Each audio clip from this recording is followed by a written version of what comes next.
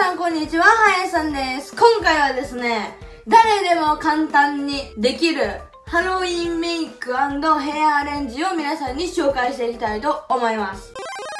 はい、カラコンはセレクトフェアリーのココアブラウンをつけています。えっと、下地と眉毛はカグラのコスプレメイクとあの全く一緒なので飛ばします。なので今日はアイメイクとヘアアレンジを紹介したいと思います。まず使うアイシャドウはこちらです。キャンメイクパーフェクトスタイリストアイズ14番。まずですね、こちらのピンク系のやつをまぶた全体に塗ります。で、塗り終わったら100均の筆でこの濃い方の赤を結構がっつり二重まぶたに塗っていきます。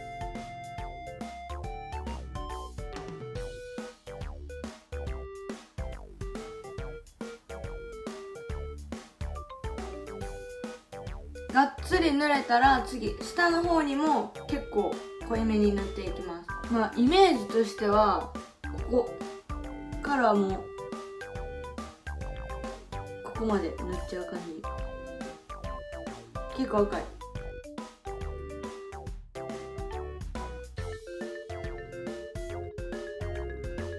こんな感じでできたら次ここの濃い方一番濃いのをチップで取ってがっつり際に塗っていきます。これを塗るとあんま赤っぽいっていうよりかはブラウンっぽくなるんでブラウンっていうか何やろ。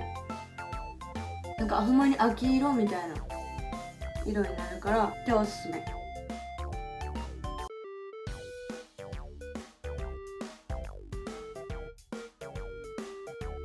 でできたら次はこのサンキューマートに売ってるやつやねんけどこんな感じの筆やったら何でもいい。これでまた濃いう方を取って次は下にここ。この黒目までに塗る感じ。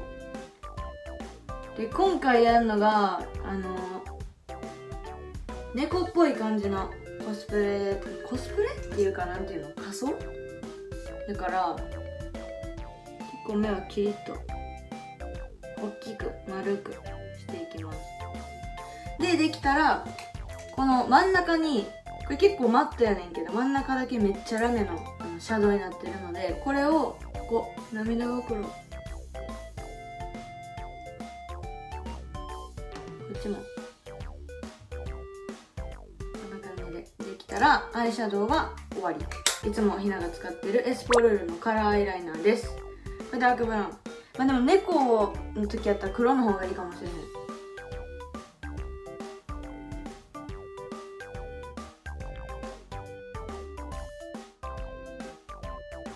ここも塗っていきます。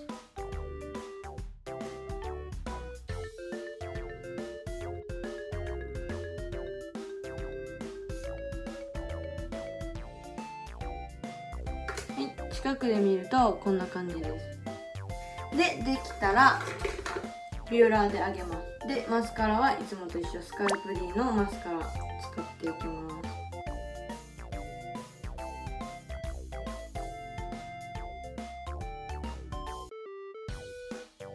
下まつげもしっかり塗っていきます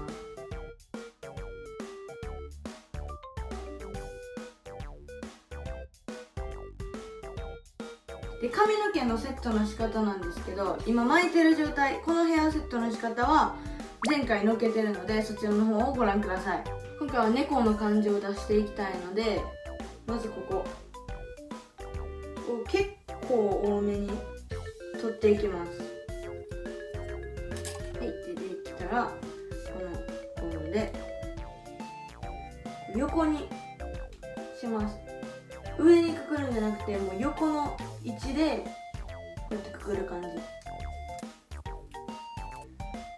で、まあ、上から見て真っ二つになるように。で黒リンパします。こんな感じで取って上から黒リンパ、まあ、結構有名やから知ってる人もいっぱいいると思うんだけどとりあえずこれで放置します。で次こっち。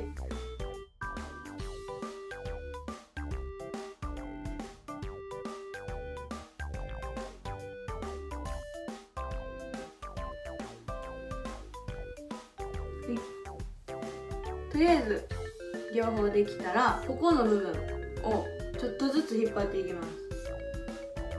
ほんまにちょっとずつ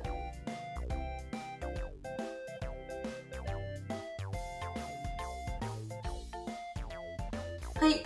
こんな感じであの猫耳みたいな感じでできたらあとはもうバランスを見ながらちょっと巻いていく感じで。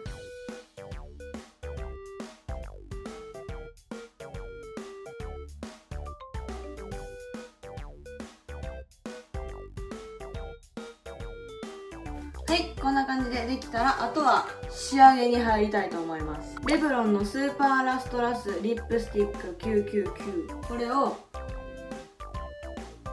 がっつり。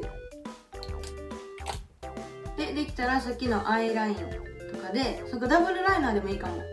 でここに。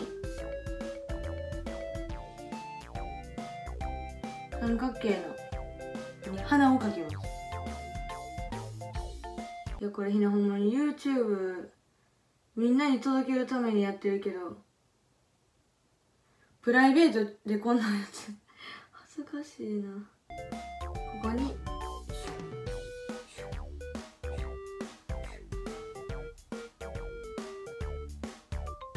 ちょっと雑いけど。これでいいんちゃうかな？はい。完成しました。もうアホみたいやけどちょっとここもミスっちゃったし。